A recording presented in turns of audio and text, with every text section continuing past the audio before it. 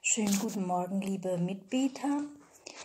Ja, wir dürfen Gott wieder für alles danken und wir können uns, wenn wir möchten, ein ähm, Morgenritual uns erschaffen, um ähm, mit Gott geistig in Verbindung zu bleiben, wenn wir morgens aufstehen, dass wir sagen, danke Herr und mein König für diesen guten Schlaf, dass du uns in der Nacht beschützt hast. Und ähm, ja, es gibt ein schönes Lied im Gotteslob, ein Loblied, das ich euch gern vorsingen möchte. Lobe den Herrn, den mächtigen König der Ehren. Lob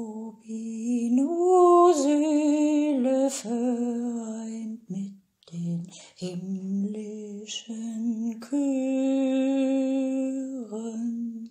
Komme zu auf, Psalter und Harfe, wacht auf, lasse den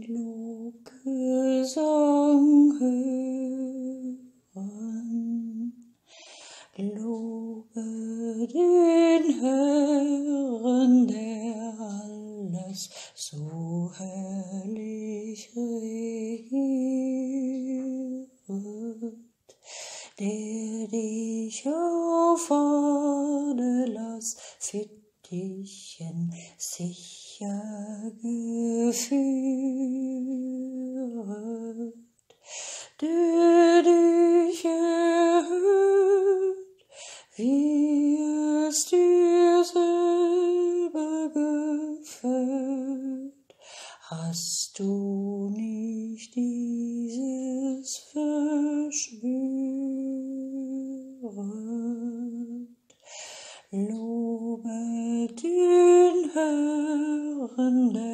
Künstlich und feindlich bereitet, der die Gesundheit verliehen, dich freundlich geleitet.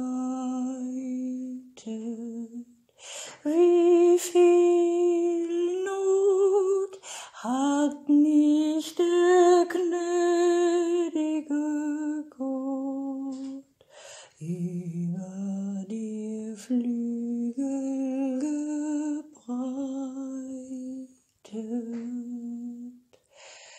Ja, wir dürfen viel, viel, vielmals danken dem Herrn und Gott für alles Schöne. Also ich habe hier noch Blumen aus dem Garten.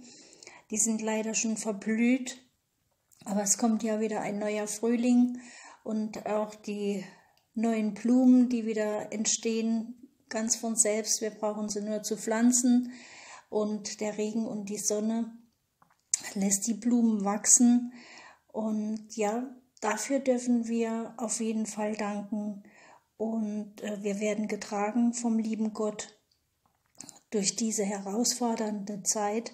Und deshalb ist es immer gut, sich mit Gott geistig zu verbinden im Gebet. Ähm, ja, auch bei dem Mittagsgebet, dem, ja, dem ähm, Dank für das Essen und ähm, ja, das Tischgebet ist schon wichtig auch, dass wir auch das Abendgebet nicht vergessen und immer wieder im Dank bleiben äh, für alles Gute, auch wenn man nur eine Decke hat oder einen Schlafsack oder nur ein Zelt. Und ähm, ja, das ist ganz wichtig, dass wir in Kontakt bleiben, dass wir miteinander telefonieren, äh, uns nicht gegenseitig vergessen in dieser Zeit. Und äh, ja, ich wünsche euch auf jeden Fall alles Liebe und Gute, ein schönes Wochenende. Ja, haltet euch weiterhin äh, gesund und ähm, ja, bleibt in der Liebe Gottes. Alles Gute für euch und bis bald.